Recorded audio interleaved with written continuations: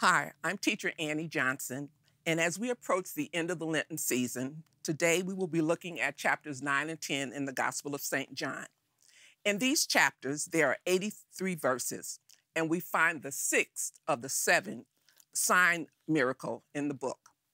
This is the giving of sight to a man who was born blind. We also find three of the seven I am statements. In John 9 5, it says, I am the light of the world. In John 10 and 9, it says, I am the door. And in John 10, 11, and 14, it says, I am the good shepherd. When Jesus talked about being the light of the world, one of the things that he said was, and if we were in the light, we would not walk in darkness. Unfortunately, the Pharisees did not know this.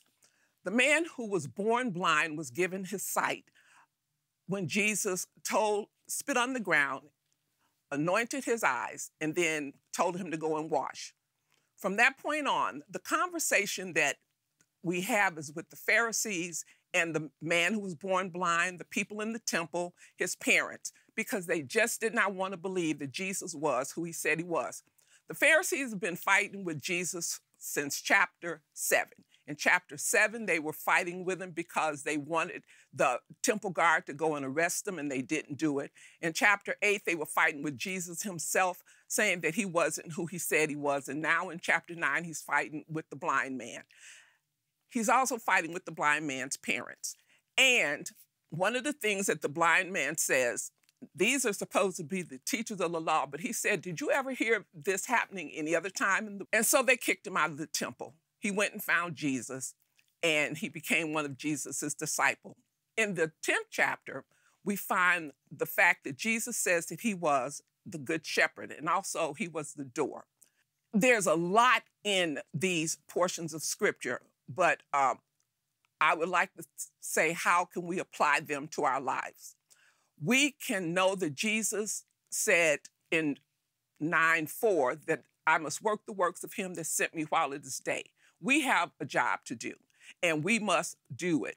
And when we're walking with Him, because He is the light, we will be able to do it without problems.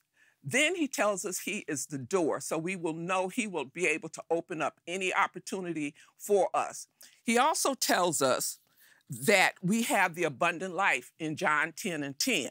So if we have an abundant life, we can do all of the things that he would have for us to do. And the final thing in John 10, 28 and 29, he tells us that we are in his hands. His hand is in the Father's hand. So as long as we know that Jesus has us, we can do whatever it is that he would have for us to do. Shall we pray? Our Father and our God, we come to you right now, thanking you for your light, thanking you for being our shepherd, thanking you for giving us the abundant life, and thanking you, Father God, for the assurance that we have that we are yours and that nothing will happen to us that is outside of your will. We pray that you will continue to bless us throughout this day. In Jesus' name we pray, amen.